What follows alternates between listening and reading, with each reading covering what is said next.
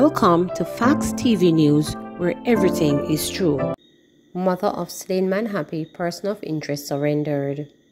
The mother of a young man who was killed while attending a wake is happy that a man named as a person of interest in the case has turned himself into the police. Me thank God for justice. This kinda make me feel a little bit better, but this can bring back my son, Doreen Kerr-Gale told reporters. Her son, 23-year-old Darren Gale, was shot and killed in Anchor District, Whithorn in Westmoreland on June 24. A man who is from the same community surrendered to the police Sunday afternoon after being featured on the Police Wanted Wednesdays campaign on social media. According to a police source, he turned himself in about 5 p.m. He was accompanied by his attorney. He will be charged soon, the police source disclosed. Gale's mother said her son was an innocent victim. Right now, every time I look for my son picture, me know to God, him no do nothing. Me know to God, him and the man who surrendered no inner nothing, the distraught woman said. Ex-convict down in Falmouth. Sleuths from the Criminal Investigations Branch, CIB in Trelawny, have commenced their investigation into Friday night's fatal shooting of an ex-convict by an unknown assailant in the parish capital, Falmouth. The police have identified the deceased as 29-year-old Ryan Scott of a Falmouth address. Reports are that about 9.45 p.m., Scott was standing at a business establishment along Water Lane in Falmouth when he was pounced upon by a lone gunman who opened fire hitting him. Scott was taken to hospital where he was pronounced dead. Investigators are yet to establish a motive behind the shooting. St. Ann pool attendant dies from bizarre crash in Trelawny. A pool attendant lost his life as a result of a bizarre crash in which he was thrown from his car which overturned and dropped on him in Trelawny on Thursday afternoon. The deceased has been identified as 32-year-old Chevy Skitton of Buckfield in St. Ann.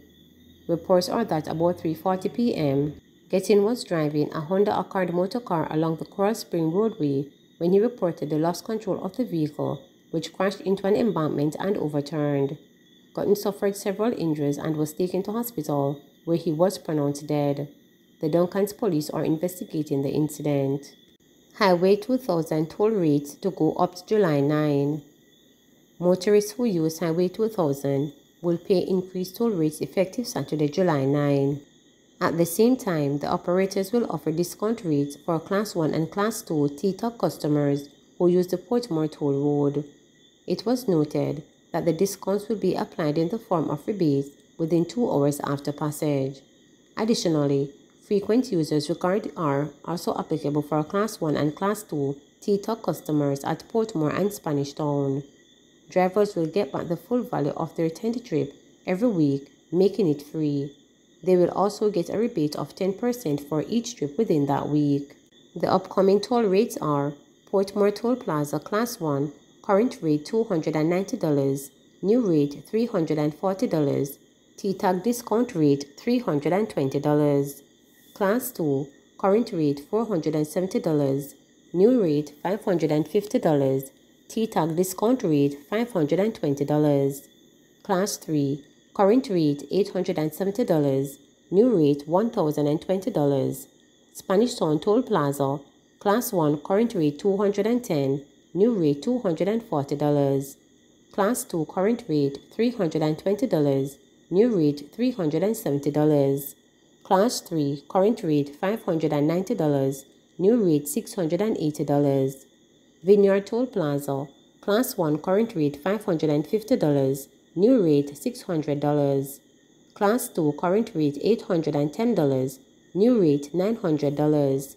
Class 3, current rate $1,510, new rate $1,800. May Pen Toll Plaza, Class 1, current rate $150, New rate $190. Class 2 current rate $250. New rate $300. Class 3 current rate $500. New rate $570. NCU theology student dies officiating aunt's funeral. Ministerial student Kevin Brown has just one semester left to complete his degree at Northern Caribbean University NCU, and the man of God had a bright future ahead the ninth of ten children, he would have been the first person in his family to graduate from university. However, everything changed abruptly on Father's Day when Brown collapsed at the pulpit while officiating at the funeral service for his beloved aunt, Caroline Brown. He died on the way to the hospital from what the autopsy report revealed was a heart attack.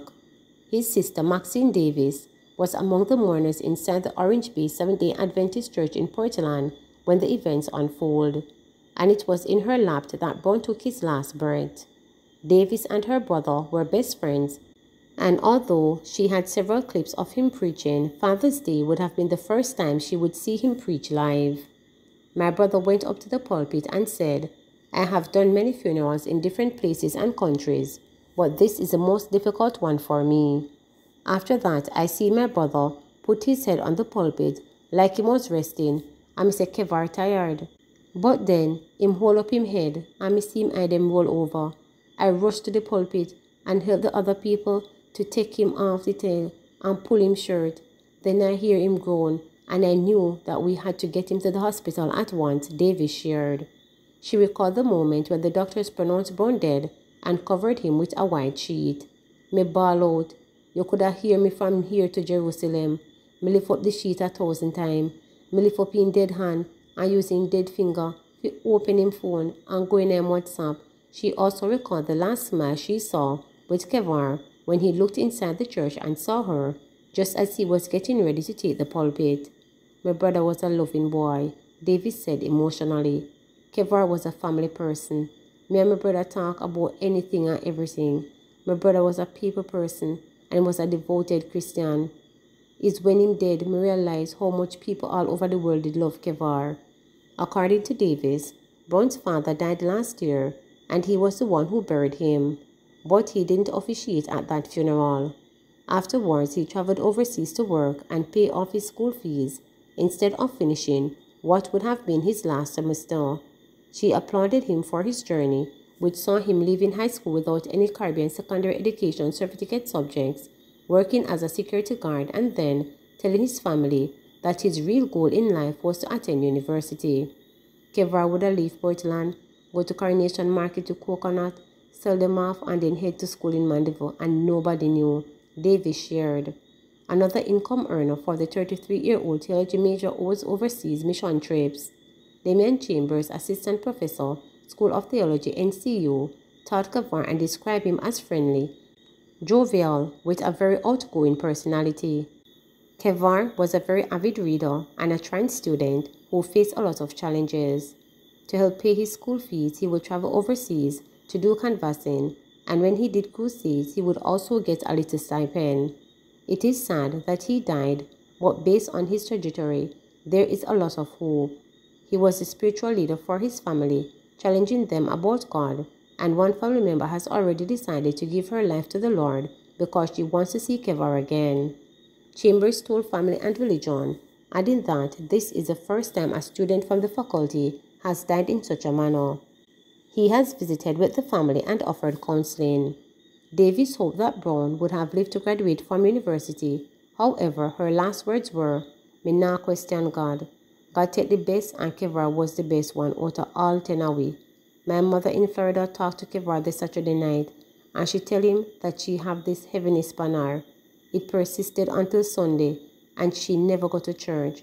And she said that when she get the call that Kevar dead, she just feel light. It's like she didn't know. Brown, she noted, had even experienced an undiagnosed illness earlier in his life. In the year 2019 interview, with family and religion that it made him become like a 99-year-old man in strength and sight, and share that he promised God that if he restored his health, he would serve him all his life. He kept his promise. Tufton hails healthcare workers as heroes. Minister of Health and Wellness Dr. Christopher Tufton is hailing the nation's over 25,000 healthcare workers as heroes who continue to give dedicated service in advancing healthcare in Jamaica the minister was addressing a Thanksgiving service to mark Healthcare Workers Appreciation Month at the Boulevard Baptist Church in Kingston on Sunday. He told the healthcare workers in attendance that their sacrifices have not gone unnoticed, while noting that they continue to care for the people of Jamaica even while dealing with personal challenges. Dr. Tufton said all categories of workers, including doctors, nurses, porters, data entry clerk, and community health aides have demonstrated their commitment and resilience. In the process, you have blazed a trail of excellence in public health, saving lives while helping to preserve families and livelihoods. Today, we proudly salute you, our healthcare heroes, he said. Dr. Tufton implored the workers to take time to enjoy the various activities planned for them during the month-long celebrations.